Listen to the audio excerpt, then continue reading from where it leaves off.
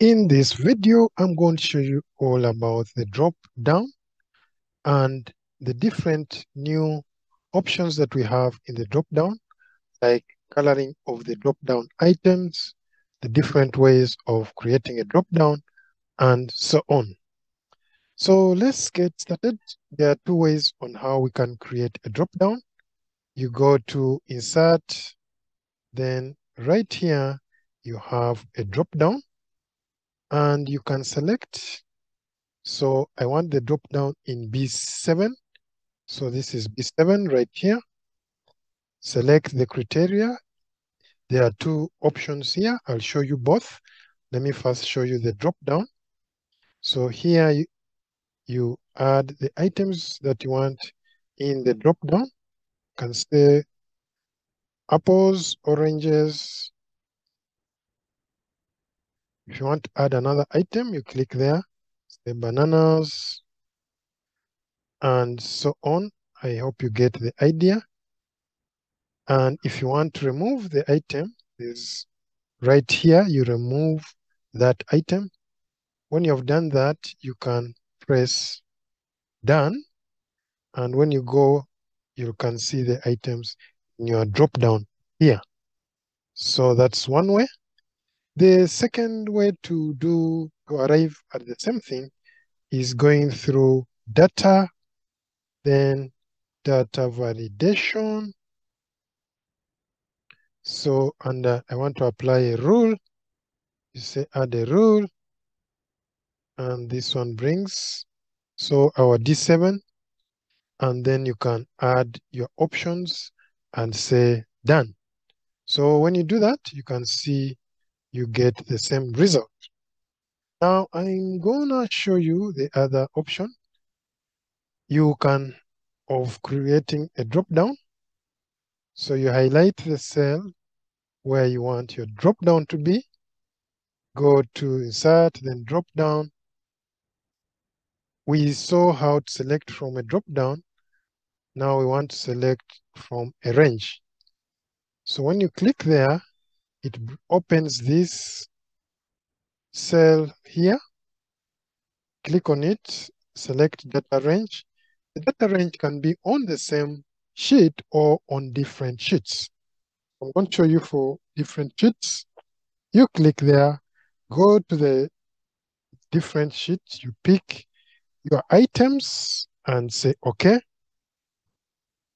So when I go back, you'll observe that my drop down has been created and it is pulling items from a different sheet.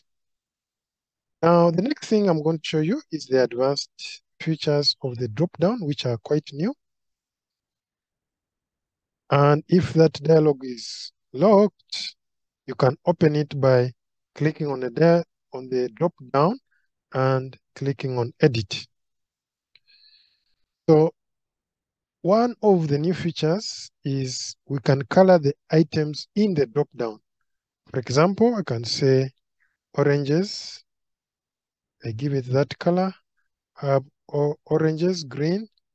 Bananas are yellow. And tomatoes may be blue.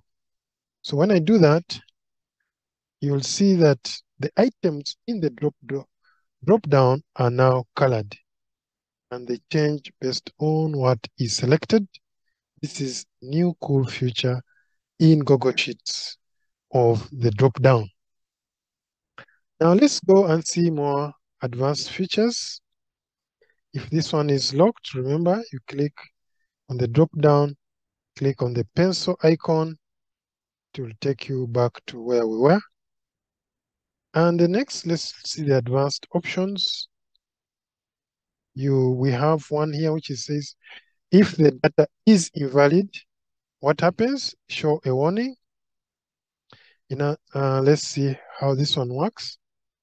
So invalid will be if I enter something which is not on the list, it will show a warning like so. Then if I remove it, the warning definitely goes away. If I keep here, then I go and see the other option that we have.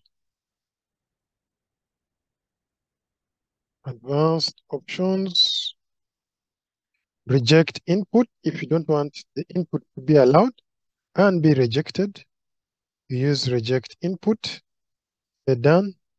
So now if I come here and I add some letters, you'll get this message saying there was a there was a problem. The data you entered in cell B10 violates the data validation rules set on this cell.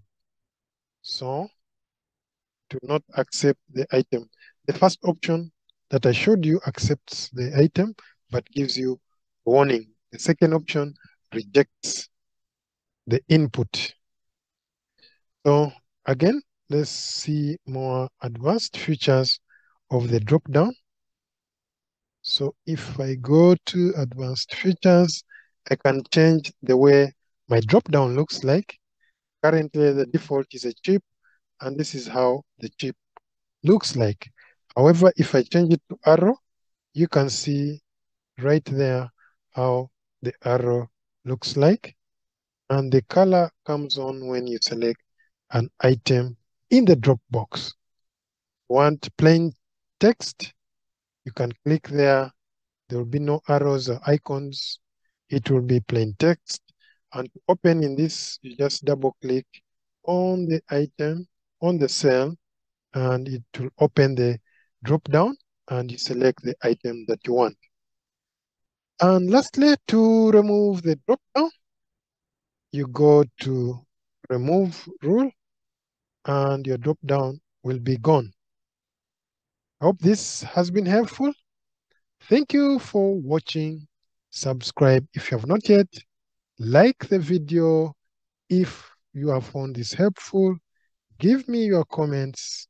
Hit the notification button to be reminded of more videos like this one, such that you don't miss any. Thank you for watching. Have a great day.